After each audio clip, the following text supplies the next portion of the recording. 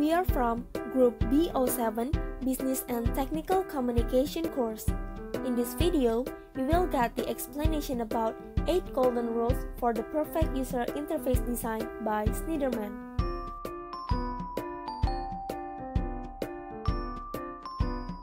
Rule number 1 Strive for consistency.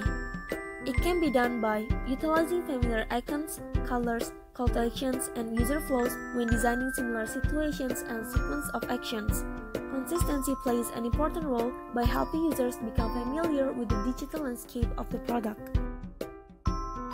Rule number 2 Enable frequent users to use shortcuts.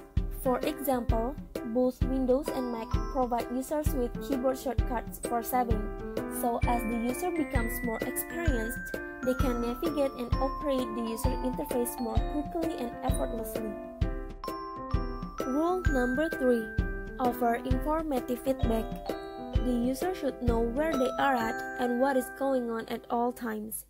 A good example can be seen when a file becomes highlighted as the user goes through a file on a desktop.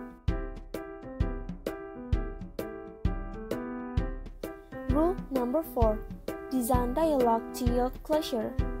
Don't keep the users guessing. We can tell them what their action has led them to. For example, users will appreciate a thank you message and a status message when they've completed a process.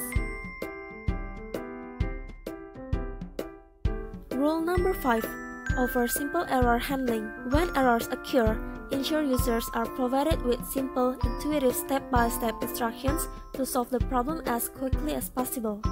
For example, flag the text fields where the users forgot to provide input in an online form.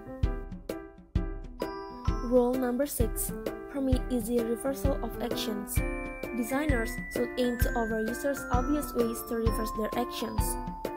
These reversals should be permitted at various points whether it occurs after a single action, a data entry, or a whole sequence of actions. Rule number 7 Support internal locus of control. These allow the users to be the initiators of actions. These also give users the sense that they are in full control of events occurring in a digital space.